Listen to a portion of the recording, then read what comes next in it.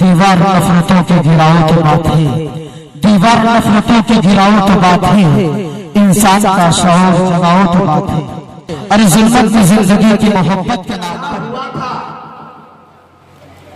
اچانک اتر گیا B P قاضی صاحب چڑھا ہوا تھا، اچانک اتر گیا بی پی کہ خاک شہر مدینہ سے ڈر گیا بی پی۔ تھوڑا سا بولے، سبحان اللہ۔ وہ کہتے ہیں نا کہ وہ ٹھیک ہے۔ اردو کا ایک آدمی ہے، انجمن میں چپ۔ ایسا نہیں ہے کہ اردو سے وہ بدگمان ہے۔ شوگر کا وہ مریض ہے، پرہیز ہے اسے۔ اردو کو لوگ کہتے ہیں میٹھی زبان ہے۔ تو اگر آپ نہیں بولیں گے تو شک کے دائرے میں آ جائیں گے۔ میں سمجھوں گا سب شوگر کے مریض بیٹھے ہوئے ہیں۔ ڈاکٹر نے منع کر رکھا ہے آپ کو بولنے کے لیے۔ ایسے میں کہا جاتا ہے کہ مجھ کو شوگر کا مرض ہے تو یہ پتھر کیسا مجھ کو رسگلے سے مارو گے تو مر جاؤں گا۔ تو تھوڑا سا سلیقے سے سن لے اور انشاءاللہ میں جناب حضرت مولانا شبلی صاحب بہرائچوی کو آپ کے حوالے کر دوں گا چونکہ بڑی دیر سے وہ بیٹھے ہوئے ہیں اور وہ چاہ رہے ہیں جلدی تقریر ان کی ہو جائے اور آپ بھی آپ تک بھی پہنچ جائے۔ ان کے بعد انشاءاللہ دیگر مقرر حضرات جو فہرست کافی طویل ہے، مجھے آج فیصلہ نہیں کر پا رہا ہوں کہ کہاں کہاں سے انتخاب کروں۔ چڑھا ہوا تھا، اچانک اتر گیا بی پی کہ خاک شہر مدینہ سے ڈر گیا بی پی، ڈرا کے مجھ کو مدینے کی سیر کروا دی۔ ڈرا کے مجھ کو مدینے کی سیر کروا دی۔ قسم خدا کی بڑا کام کر گیا بی پی قسم خدا کی، تھوڑا سا بولیے سبحان اللہ اگر اتنا خاموش ہو جائیں گے، زیادہ خاموشی اختیار کریں گے، تو میں کسی کو بولا کے نماز جنازہ کی نیت کروا دوں۔ ٹھیک ہے؟ لگے کہ آپ زندہ ہیں، تو تھوڑا بولتے رہیے۔ سبحان اللہ الحمدللہ، آپ کی بھی ذمہ داری ہے۔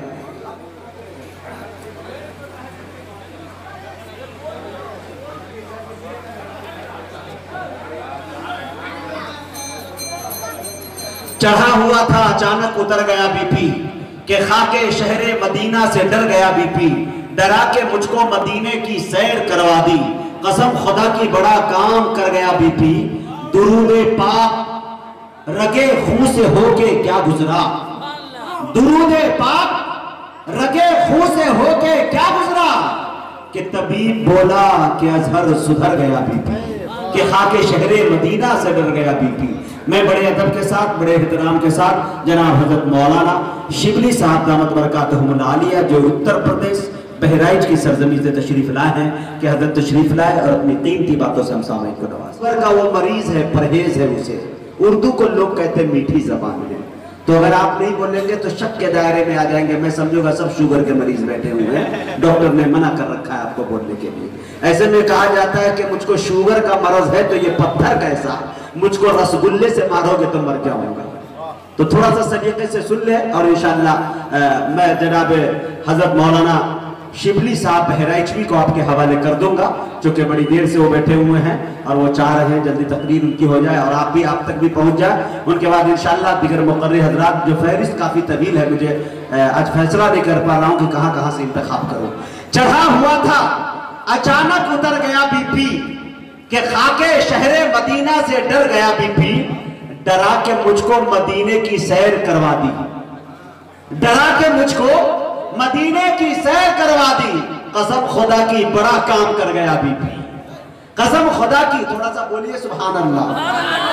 اگر اتنا خاموش ہو جائیں گے، زیادہ خاموشی اختیار کریں گے، تو میں کسی کو بولا کے نماز جنازہ کی نیت کروا دوں۔ ٹھیک ہے؟ لگے کہ آپ زندہ ہیں، تو تھوڑا بولتے رہیے، سبحان اللہ، الحمدللہ، آپ کی بھی ذمہ داری ہے۔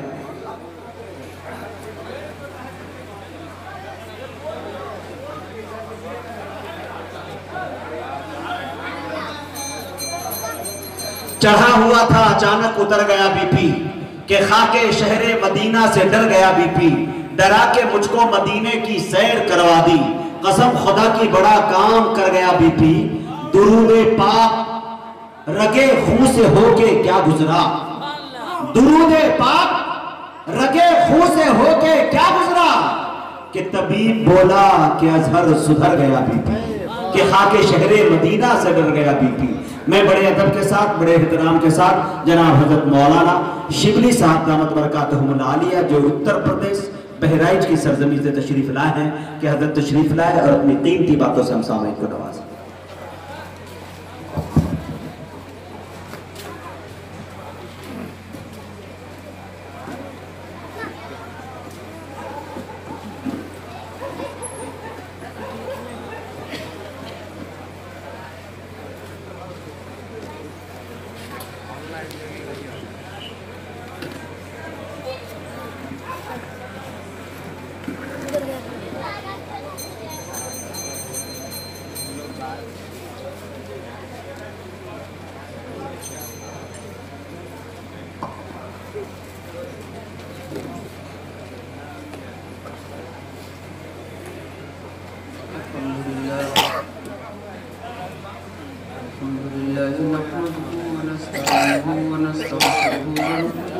ونتوكل عليه ونعوذ بالله من شرور أنفسنا ومن سيئات أعمالنا. من يهده الله فلا مضل له ومن يضلله فلا هادي له.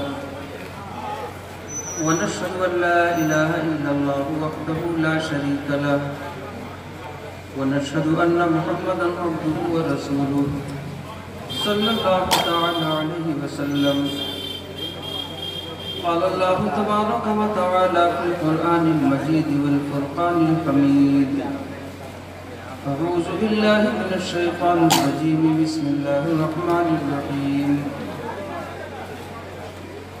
يا أيها الذين آمنوا أنفسكم وأهليكم نارا وقودها الناس والحجارة. صدق الله العظيم. حضرات گرامی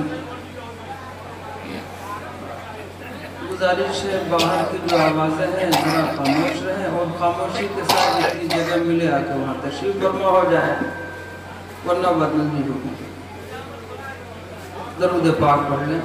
اللہم صلی علی سیدنا و مولانا محمد و علی آلی سیدنا و مولانا محمد و بارک وسلم۔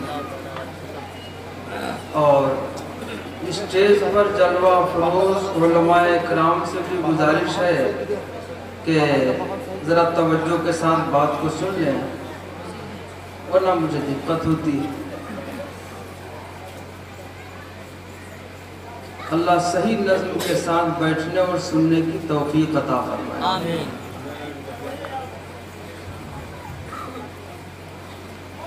دونوں جہاں کی عظمت و توقیر مل گئی۔ سبحان اللہ عشق رسول پاک کی جاگیر مل گئی۔ سبحان اللہ۔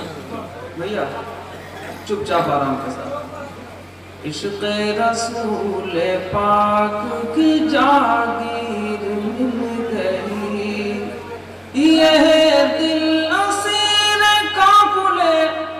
واللیل ہو گیا دیوانہ رسول کو زنجیر مل گئی۔ لائق صد احترام حضرات علماء اکرام و معزز سامعین نظام و پردہ نشین، خواتین اسلام و بانیان جلسہ۔ بڑا قیمتی بیان ابھی ہوا ہے امام صاحب کا اور میرے بعد کئی ایک بیانات آپ حضرات کو باری باری سماعت فرمانا ہے۔ ایک گھنٹہ مجھے کچھ عرض کرنا ہے۔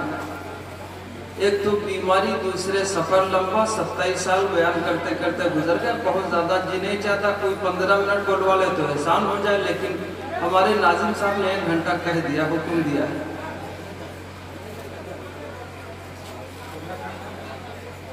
تو ہمارے ناظم صاحب نے کہا کہ آپ کو اختیار ہے۔ میں نے قرآن عظیم کی ایک آیت کریمہ تلاوت کی۔ خدا کے قدوس نے ارشاد فرمایا، اے ایمان والو، تم بچاؤ اپنے آپ کو اور اپنے گھر والوں کو اس دوزک کی آگ سے جس کا ایندھن انسان اور پتھر۔ پہلے اپنے آپ کو بچاؤ گھر والوں کو بچاؤ اس دوزک کی آگ سے جس کا ایندھن انسان و پتھر قرآنی احکامات پر خدا قدوس ہم ایمان والوں کو مکمل طور پر عمل کی توفیق عطا فرمائے۔ اور اللہ کے حبیب جناب محمد الرسول اللہ صلی اللہ علیہ وسلم کی سنتوں پر عمل کی توفیق عطا فرمائے۔ خلاف پیمبر کسے راگزید کی ہرگز بمنزل نقاہد رسید۔ اللہ کے محبوب کے طریقے کے سوا کوئی راستہ تلاش کرے تو وہ منزل تک پہنچ نہیں سکتا۔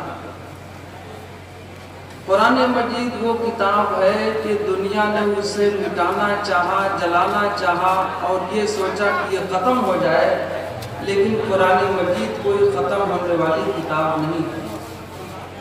ایک طرف تو یہ کتاب اللہ ہے اور دوسری طرف کلام اللہ ہے۔ اللہ کی کتاب بھی ہے اور اللہ کا کلام بھی ہے۔ اور جتنی کتابیں آئیں اس میں ترمیم ہوئی، کمی زیادتی ہوئی، لیکن قرآن مجید چونکہ کتاب اللہ بھی ہے، کلام اللہ بھی ہے، یہ اللہ کا کلام ہے اور اس کے کلام میں کوئی تبدیلی نہیں آتی۔ کسی شاعر نے کہا ہے کون ان پہ رشد و ہدایت کا؟ سامان نہ بدلا جائے گا۔ کون ان کے رشد و ہدایت کا؟ سامان نہ بدلا جائے گا۔ بدلے گا زمانہ، لاکھ مگر قرآن نہ بدلا جائے گا۔ بدلے گا زمانہ لاکھ مگر قرآن نہ بدلا جائے گا۔ خدا و تقدس مضبوطی کے ساتھ عمل کی توفیق عطا کرنا میں مثال میں عرض کیا کرتا ہوں کہ قرآن احکامات کو ہم نے آپ نے چھوڑا۔ ہے یہ تو قرآن کی تلاوت ہے وغیرہ وغیرہ دوسرے اس کے احکامات۔ احکامات ہم نے توڑا اور اس توڑنے کے نتیجے میں برا حال ہوا۔ مثال میں ارز کیا کرتا ہوں کہ ایک عورت کنڈا بنانے والی جو گوبر کے کنڈے بنتے ہیں، وہ اپنے کنڈے بنا رہی تھی۔ اس کے پیر کے نیچے ہیرا پڑا ہوا تھا، وہ برابر پیروں کے نیچے رہا، ادھر دھوڑتی رہی۔ اتنی دیر میں جوہری کا گزر ہوا۔ قدر گوہر شاہ دانت یا گدانت جوہری۔ گوھر کی قیمت کو یا بادشاہ جانے گا ہے جوہری جانے گا؟ تو جوہری نے دیکھا یہ تو ہیرا پڑا ہوا ہے۔ تو وہ داؤں میں تھا کہ جیسے ہی یہ آگے بڑھے میں ہیری کو چھپا یہ ذرا لائٹ بند ہے چمک لگتی۔ ہے تو ہوا ایسا کہ جیسے وہ آگے بڑھی، جوہری نے اسی ہیرے کے اوپر اپنا پیر رکھ لیا۔ تو جیسے ہی پیر رکھا ہیرے کو چھپانے کے لیے، تو ہیرا چٹک گیا، دو ٹکڑے میں ہو گیا۔ جوہری چیر پڑا کہ ہیرا، تجھے کیا ہو گیا؟ کہ اتنی دیر تک یہ پیروں سے رونگتی رہی، تجھ پر کوئی فرق نہیں آیا۔ اور ہم نے تجھ کو چھپانے کے لیے چپکے سے پیر رکھا، تو ٹوٹ گیا۔ ہیرے نے آواز دی کہ سنو میاں، اس عورت کو پتا نہیں تھا کہ میں کیا ہوں، میری قیمت کیا ہے۔ جوہری ہو، تمہیں پتا تھا کہ میں ہیرا ہوں تم نے کیوں پیر رکھ دیا میرے اوپر؟ تو دوستو، احکامات کو ہی توڑے تو توڑے ہم ایمان والے، جو کتاب دی گئے ہدایت کی، ہم ہی احکام توڑ دیں تو کیا ہوتا خدا دے قدوس صحیح طرح آپ عمل کرنے کی توفیق عطا فرمائے۔ تو اے ایمان والوں، بچاؤ اپنے آپ کو اور اپنے گھر والوں کو اس دوزہ کی آگ سے، جس کا ایندھن انسان اور پتھریں گزر گزرے ہیں۔ حضرت بہلول دانا رحمت اللہ علیہ بڑے مقام کے ولی گزرے تو ان کی امی جان کھانا پکا رہی تھی اور ظاہر ہے، تو ایک دن انہوں نے دیکھا توجہ کے ساتھ کی چھوٹی چھوٹی لکڑیاں انہوں نے پہلے رکھ دی اور جب وہ لکڑیاں چلنے لگی تو موٹی موٹی لکڑیاں رکھ دی۔ تو حضرت بہلول دانا رحمت اللہ علیہ رونے لگے۔ ماں نے پوچھا، بہلول رونے کی وجہ بتاؤ۔ تو کہا، امی جان، آپ نے چھوٹی لکڑیاں پہلے رکھ دی ہیں، جب وہ جلنے لگی تب آپ نے موٹی موٹی لکڑیاں رکھ دی تو کہا، آگ جلانے کا طریقہ یہی ہے، اس کے بغیر آگ جلا نہیں کرتی. تو کہا، رونے کی وجہ بتاؤ. تو حضرت بہلول دانا رحمت اللہ علیہ نے کہا، امی جان، مجھے ڈر یہ لگا کہ کہیں دوزک میں بھی ایسا نہ ہو کہ چھوٹے چھوٹے بچوں کو پہلے ڈالا جائے، بڑوں کو بعد میں ڈالا جائے، اس ڈر سے میں روکا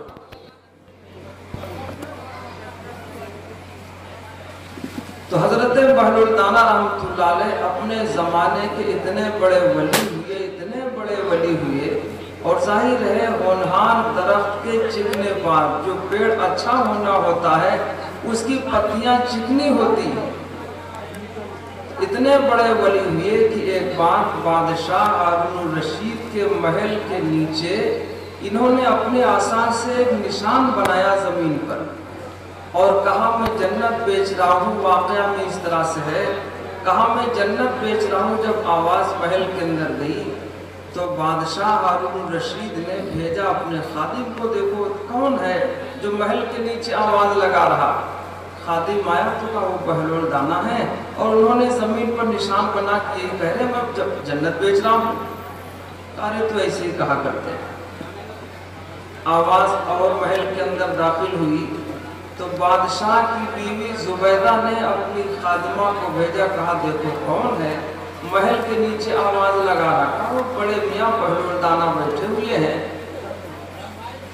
اور یہ کہہ رہے ہیں، میں جنت بیچ رہا ہوں۔ جاؤ قیمت معلوم کر کے آؤ۔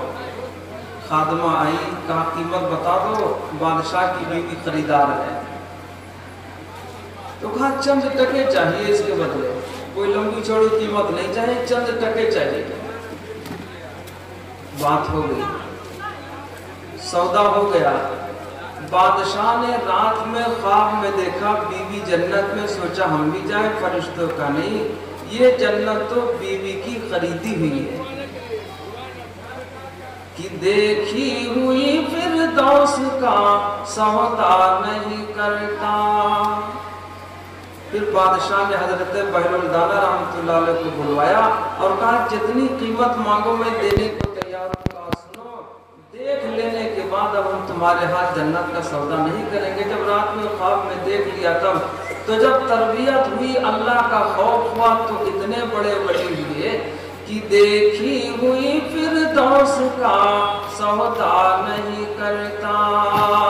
دیکھی ہوئی پھر دوس کا سودا نہیں کرتا۔ دیوانہ محمد کا سمجھدار بہت ہے۔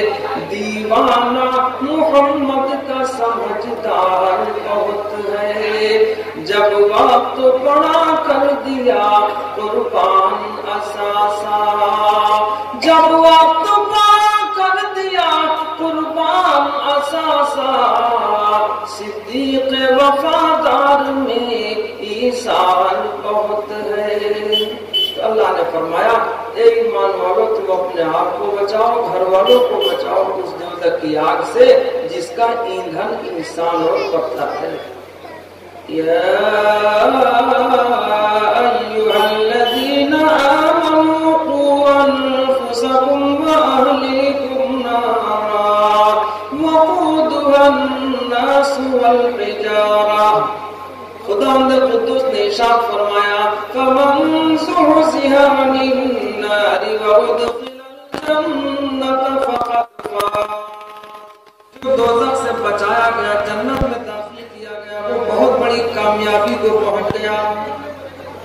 تو فانی ہونے والی ہے، بڑے بڑے آئے اور چلے گئے۔ ارے بولو بھائی، بڑے بڑے آئے اور چلے گئے۔ اپنی عمریں گزار کی زندگی گزار کے چلے گئے۔ اللہ نے فرما کامیاب وہ ہے جو دوزخ سے بچایا گیا، جنت میں داخل کیا گیا۔ بادشاہ فقیر ہے، بڑے بڑے آج بھی موجود ہیں۔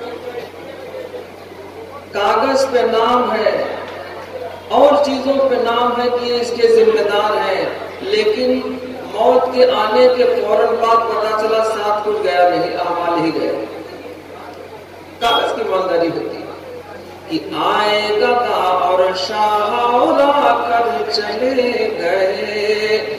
آئے گدا اور شاہ آ کر چلے گئے۔ سارے فنا کی خاک اڑا کر چلے گئے۔ وہ تخت بوریا نشیر مرکز میں اپنے دونوں برابر چلے گئے۔ دوستو، کامیاب ہوئی ہے۔ کامیاب ہوئی ہے۔ کتنا ہی ایمانداری ہو جائے، چاہے جتنی عمر ہو جائے، ایک دن تو موت کا مزہ چکلا ہی۔ ہے بڑے بڑے آئے۔ بڑا ان کو اپنی طاقت پہ ناز ہوا۔ لیکن جب وقت آیا اللہ نے ارشاد فرمایا الم ترى كيف فعل ربك بعاد؟ ارم ذات العماد التي لم يخلق مثلها في البلاد وثمود الذين جابوا الصخر بالواد. بڑے بڑے لوگ آئے، اپنی طاقت پہ بڑا ناز ہوا، لیکن وہ آنے پر ایسے ہی چلے گئے۔ قوم آج قوم سمود، بڑی طاقت والی قوم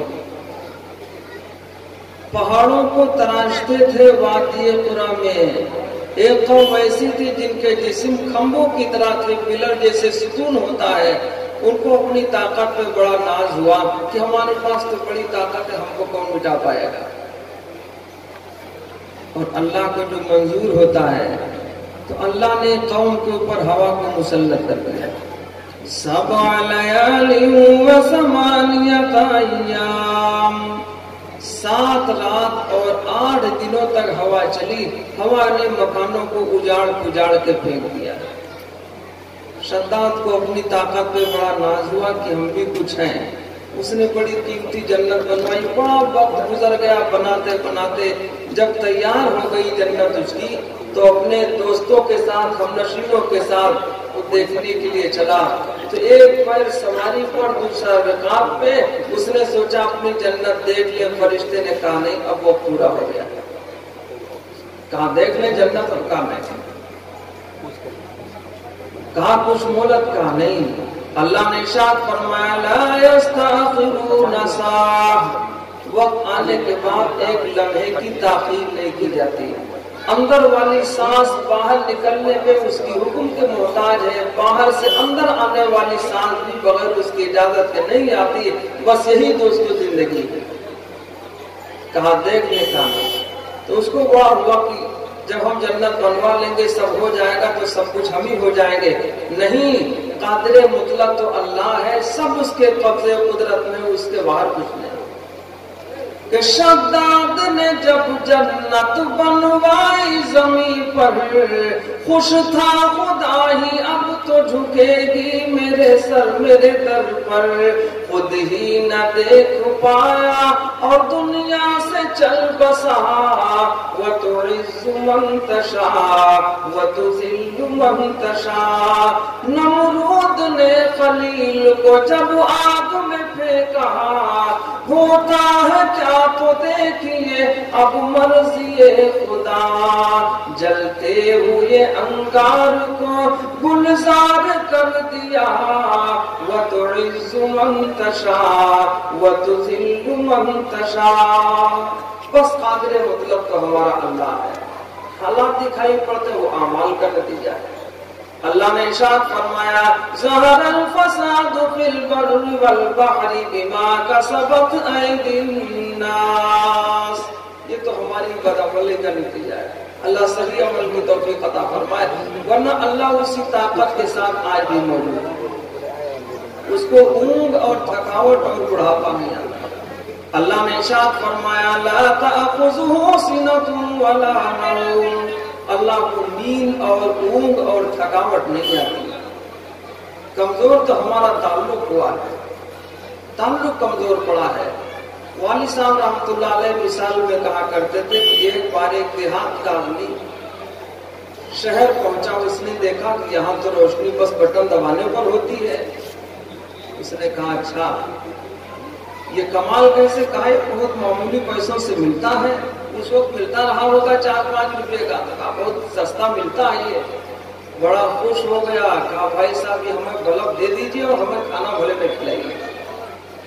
کہا اچھا۔ تو کہا بھائی، آپ پریشان نہ ہوئیے بلب آپ کو ملے گا۔ بہرحال اس نے بلب دیا اور صبح ہوتے ہوتے وہ دیہاتی اپنے گھر پہنچا۔ اور گھر پہنچ کر کے وہ شام کا رات کا انتظار کرنے لگا کہ جیسے شام ہو جائے، فوراً اس کو ہم تو اس نے لے جا کر کے چھپر میں ٹاگا بلب کو۔ بٹن وٹن ساتھ ہی میں تھا۔ جب شام ہو گئی تو بیوی بی سے کہا نظر اوپر نہ کرنا ورنہ آگوں کی روشنی چلی جائے کہا پہلے تو کہا، بہت تیز جلتا ہے روشنی بہت ہوتی ہے اسی کہا اچھا کہا، اوپر مت دیکھنا۔ بی بی نیچے دیکھتی رہی، گھنٹوں یہ بٹن دباتا رہا، کہیں کچھ نہیں، نہ روشنی، نہ کوئی آگ کی بات۔ بڑی دیر ہو جانے کے بعد بیوی نے کہا، کیا ہوا بھائی؟ گردن تو درد کرنے لگی، کیا ہوا؟ تو کہا کہ یہ ہم جو لائے، یہ وہاں بہت روشنی دیتا تھا، پتہ نہیں یہاں کیوں نہیں چل رہا روشنی، تو اس میں بہت زیادہ کی آنکھوں کی روشنی کم ہو جائے۔ کہا، اتنا زیادہ؟ کہا ہاں.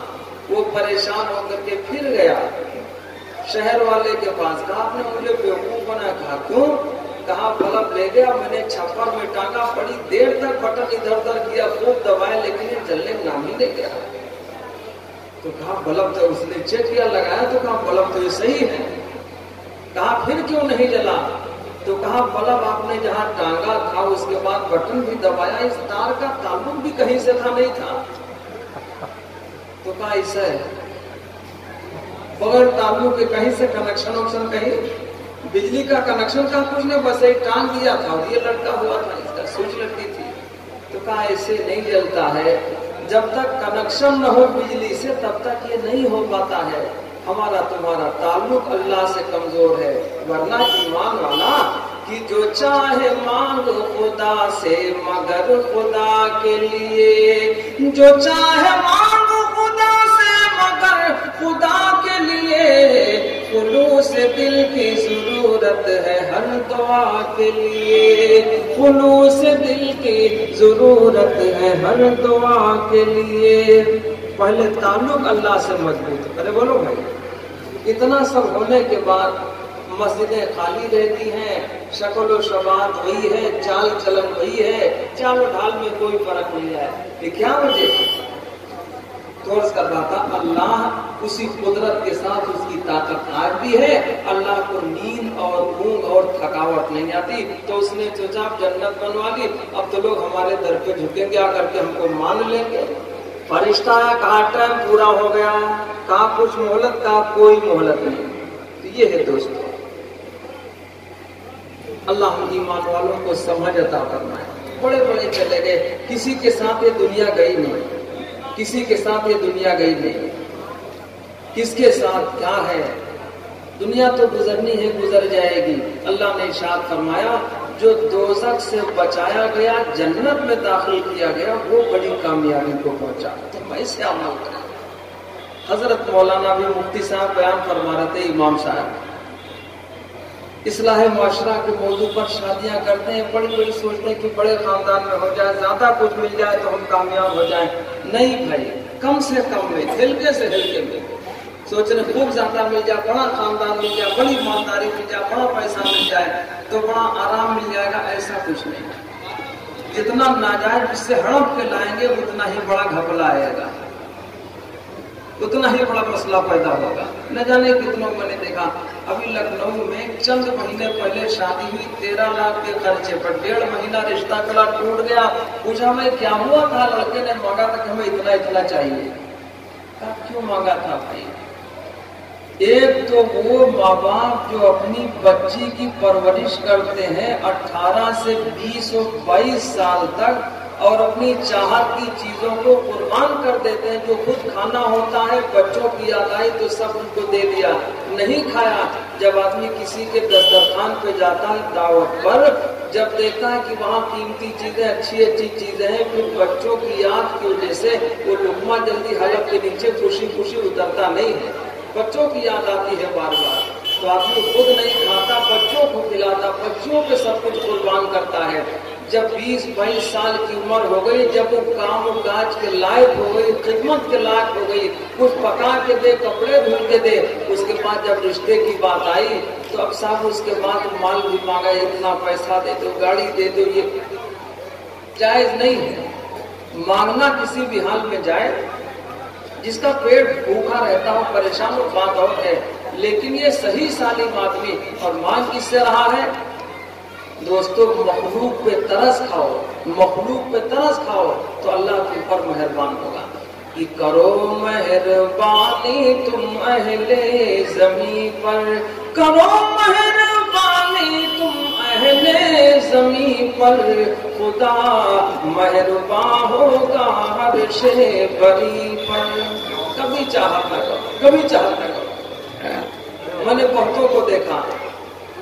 چپکے سے مسجد میں نکاح کیا، چھ سات اور آٹھ دس لوگ جتنے مسجد میں موجود رہے، نکاح ہو گیا۔ اپنے گھر لیا بات ختم ہو گیا تو عرض کر رہا تھا کہ مخلوق پہ ترس کھاؤ۔ دوسری بات میں نے عرض کی، کامیاب وہ ہے جو دوزخ سے بچایا گیا، جنت میں داخل کیا گیا۔ وہ بہت بڑی کامیابی کو پہنچا۔ دنیا ختم ہونے والی ہے، وہ ہمیشہ باقی رہنے والی چیز ہے۔ دنیا ایسے ہی چھن جاتی ہے، مرنے کے بعد خود ہی دولت چلی جاتی ہے یا زندگی میں دولت چھن جاتی ہے۔ دنیا نے کسی کا ساتھ آج تک دیا نہیں۔ اور جو شخص جنت میں داخل کیا گیا، اس کا کتنا اکرام ہوگا، کیا ہوگا؟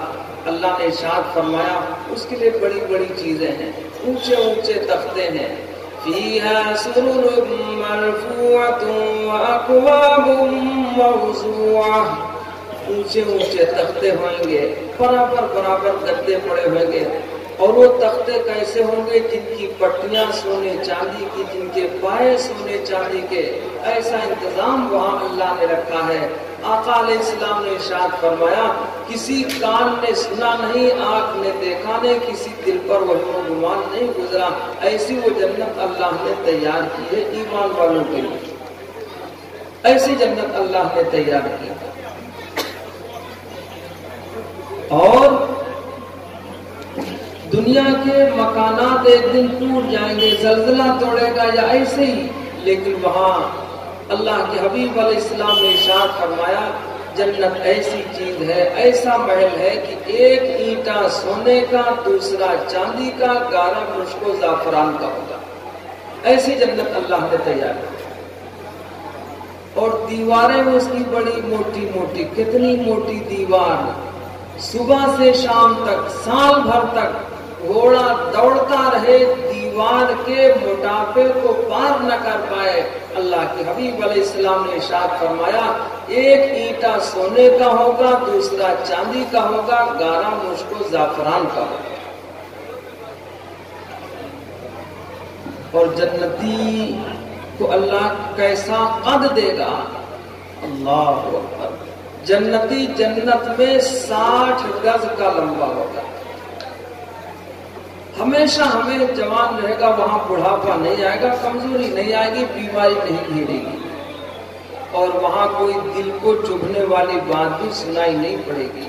لا يسمعون فيها لغوا ولا كذابا نہ کوئی دل کو چبھنے والی بات نہ جھوٹی بات سنائی پڑے گی، ایسا وہ مہمان خانہ ہے۔ اللہ نے شاد فرما جو دوزخ سے بچایا گیا، جنت میں داخل کیا گیا، وہ بہت بڑی کامیابی کو پہنچا اور جنتی جنت میں مسحری پہ ٹیک لگا کے بیٹھا ہوگا، سونے کا ڈنڈا اس کے ہاتھ میں ہوگا۔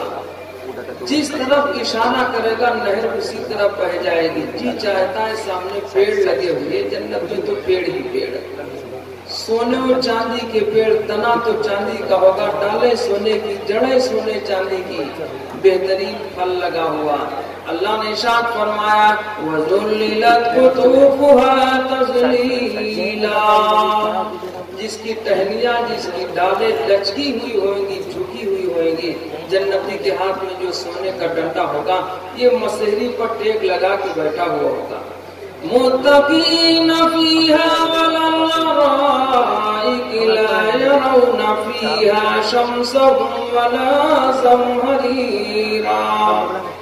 نہ وہاں ٹھنڈک ہوگی، نہ گرمی ہوگی مسحری پہ ٹیک لگا کے بیٹھا ہوگا۔ جی میں آئے گا، سامنے پیڑ کو دے کر، اس میں پھل دے کر، مثال کے طور پر سیب ہی کا پیڑ ہے، سیب کا پھل لگا ہوا جی چاہے گا کہ یہ پھل ہمارے پاس ہوتا، تو اس کو نہ ڈنڈا پھینک کر توڑنے کی ضرورت ہے، نہ اس پر چڑھنے کی ضرورت ہے، نہ گلمان سے توڑوانے کی ضرورت ہے۔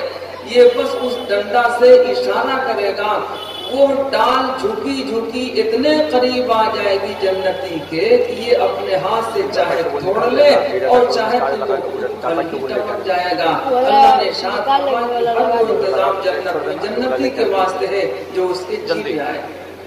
وَلَكُمْ فِيهَا مَا تَشْتَهِي أَنفُسُكُمْ وَلَكُمْ فِيهَا مَا تَبْتَعُونَ جو تمہارے جی میں آئے، سب وہاں موجود ملے گا۔ تو اللہ نے شاد فرمایا، جو دوزخ سے بچایا گیا، جنت میں داخل کیا گیا، وہ بہت بڑی کامیابی کو پہنچا۔ تو یہ بڑی مختصر زندگی ملی ہے، کتنی شام ہوتی ہے، زندگی یوں ہی تمام ہوتی ہے۔ تو میں نے قرآن مجید کی آیت کریمہ تلاوت کی تھی۔ اللہ نے شاد فرمایا، اے ایمان والو، تم بچاؤ اپنے آپ کو، اپنے گھر والوں کو، اہل ویال کو۔ اس دوزک کی آگ سے جس کا ایندھن ہی انسان اور پتھر ہے۔ یہ ہماری بڑی ذمہ داری ہے۔ اللہ خود کو بچانے کی توفیق عطا فرمائے۔ تو دوستو، بہت آئے اور چلے گئے۔ اخیر میں بادشاہ بہادر شاہ ظفر نے شیر کہا تھا۔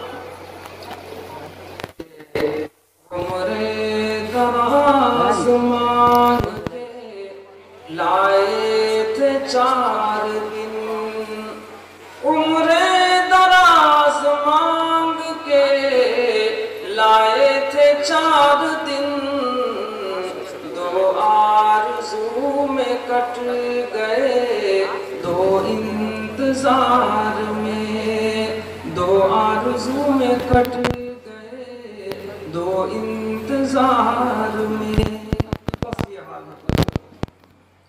خدا اندر قدوس، ہم تمام ایمان والوں کو ان کئی بھی باتوں پر عمل کی توفیق عطا فرمائے۔